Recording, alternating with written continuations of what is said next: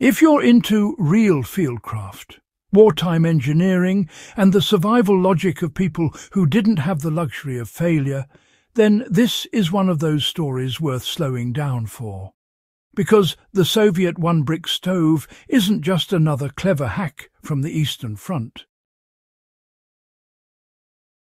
It's one of those brutally simple, battlefield-tested solutions that shows exactly how armies solved a problem when they had nothing.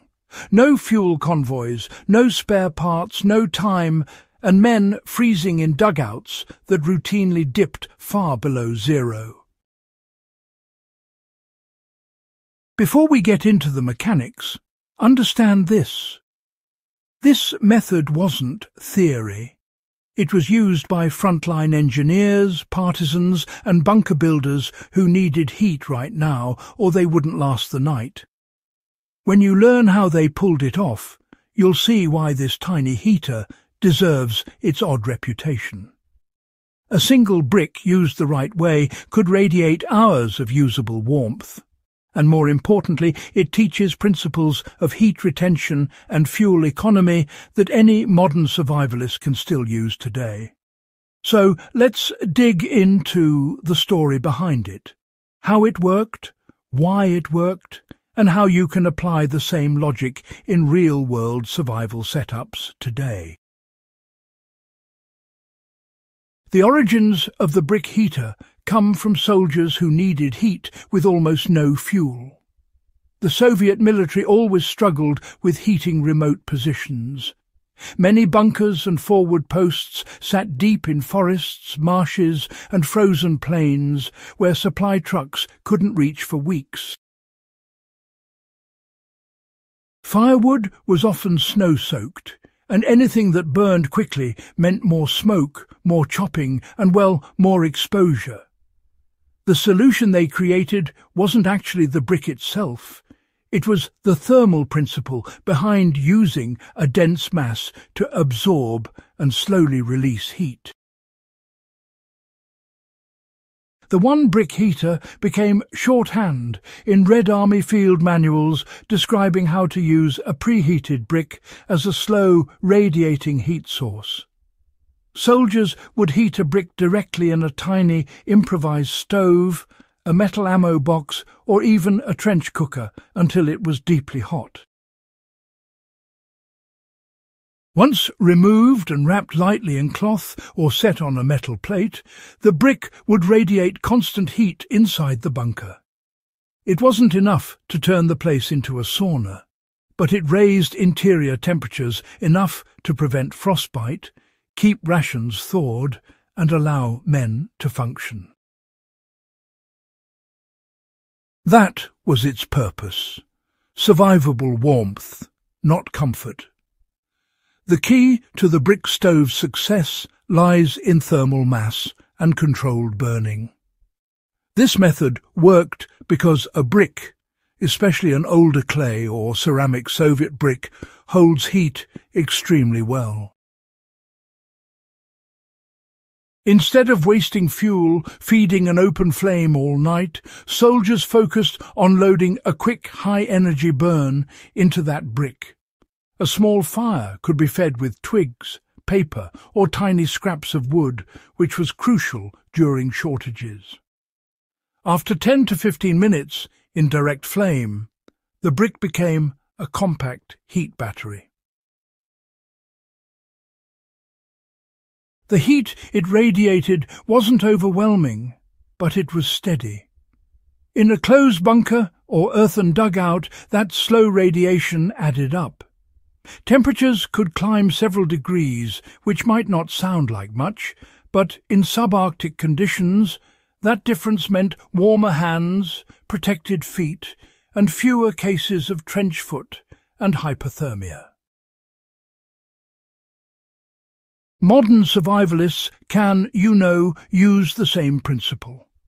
Heating a brick beside a campfire and placing it inside a tent, safely of course on a plate or double cloth, creates hours of dry, radiant warmth, all without the need to maintain a full fire.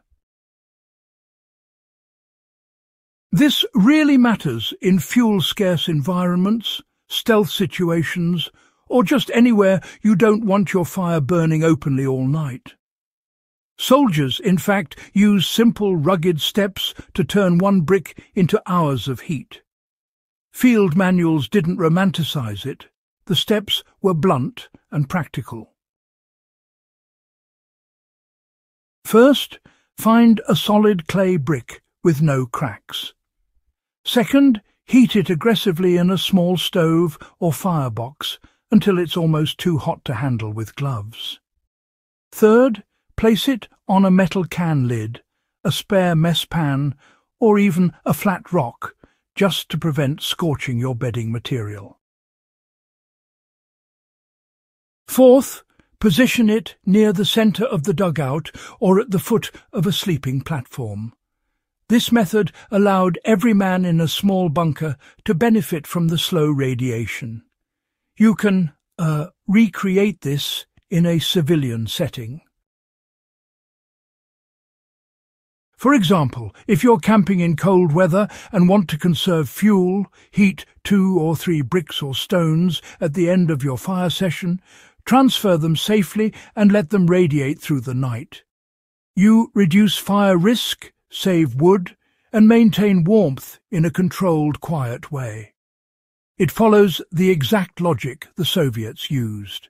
Let the fire burn when you're awake, and let the stored heat take over when you're not. The one-brick method also solved one of the biggest wartime threats carbon monoxide build-up. One reason the Soviets favoured this approach was the safety factor. Bunkers with poor ventilation killed soldiers every winter through carbon monoxide poisoning. Even small stoves produced deadly fumes if chimneys froze or, you know, draft conditions shifted. The one-brick method only required a short burn window. Once the brick was charged with heat, soldiers would go ahead and extinguish the fire entirely. With no ongoing combustion, the bunker stayed warm without any gas build-up. For survivalists today, this is honestly a critical lesson. Many tent and shelter fires go wrong because people try to run a heat source in a confined space. A heated brick gives you warmth without flame, smoke or gas, which means you can seal the shelter more tightly and, well, stay safer through the night. The brick heater teaches modern survivalists to think in terms of efficiency, not brute force. What made this Soviet trick so effective wasn't magic, it was discipline. Instead of endlessly feeding a fire to fight the cold, they invested a short burst of heat into a durable mass. That mindset carries over to modern preparedness. Whether you're heating a small cabin, a vehicle shelter, or even a winter tent, thinking in terms of thermal mass makes your setup more efficient.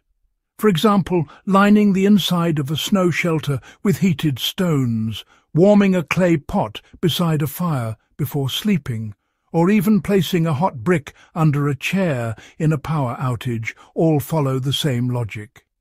You're creating warmth that doesn't rely on a continuous feed of fuel. This simple Soviet idea remains one of the smartest survival heating tactics ever invented. Eighty years later, this tiny heater still outperforms many complex survival gadgets. It doesn't need batteries, it doesn't jam, and it doesn't reveal your position with smoke. It's small-scale, quiet and reliable. Exactly what soldiers needed and exactly what anyone preparing for harsh conditions should understand. It proves that sometimes the simplest wartime inventions deliver the most timeless solutions. If you found this breakdown valuable, make sure you subscribe. Share this video with someone who appreciates real history and real survival knowledge and keep exploring the forgotten skills that kept people alive when everything was stacked against them.